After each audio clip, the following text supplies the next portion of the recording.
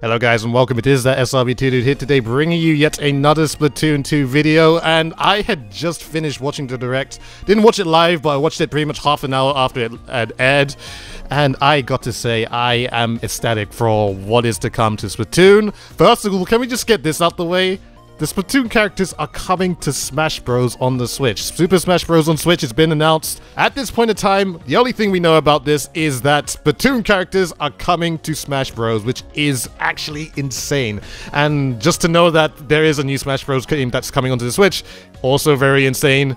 I am sure that a lot of you people that are Smash fans and pretty much the entirety of the Smash community are going to be really excited about this. But let's actually talk about stuff that is coming into Splatoon 2. So in the Nintendo Direct, version 3.0 is a thing and it is coming in late April with three new maps, two of which are actually returning maps from the original Splatoon game, Camp Triggerfish and Piranha Pit. I cannot wait to see these maps coming back in because Piranha Pit was actually one of my favorite maps, and I know for sure that a bunch of people are going to love that Camp Triggerfish of all maps is actually returning back.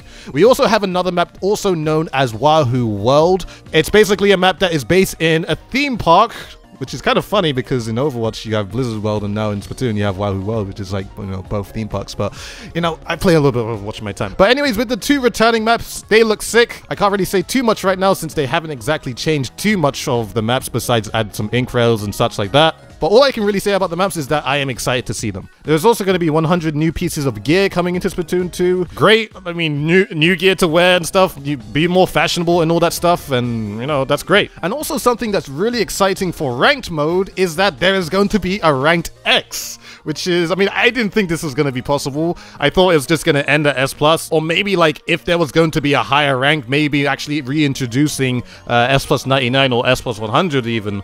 But rank X, they really didn't show too much about it, but there's a new rank coming into Splatoon 2, and of course your boy is going to be all over that rank. Now that is pretty much everything to do with online things with Splatoon 2.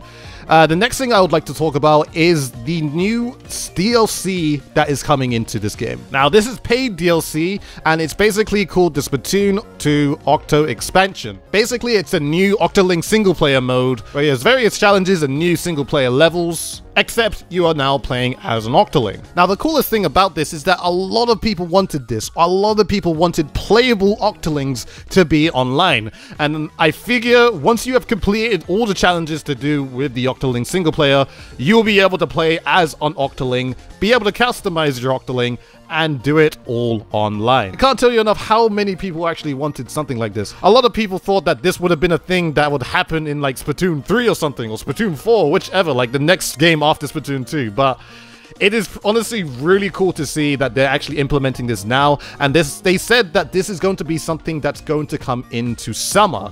So June, July, August, whichever, we don't know yet. But I figured that we'll probably get a Splatoon 2 Direct around that time or some sort of video to explain the Octo expansion even further. But other than that, this was a great direct. I'm just saying, just the last part of it, like just the last seven minutes of it. I mean, Crash was cool. I'm not gonna lie, Crash was amazing. I was just like, yes, sick. Crash is actually going to come to the Nintendo Switch.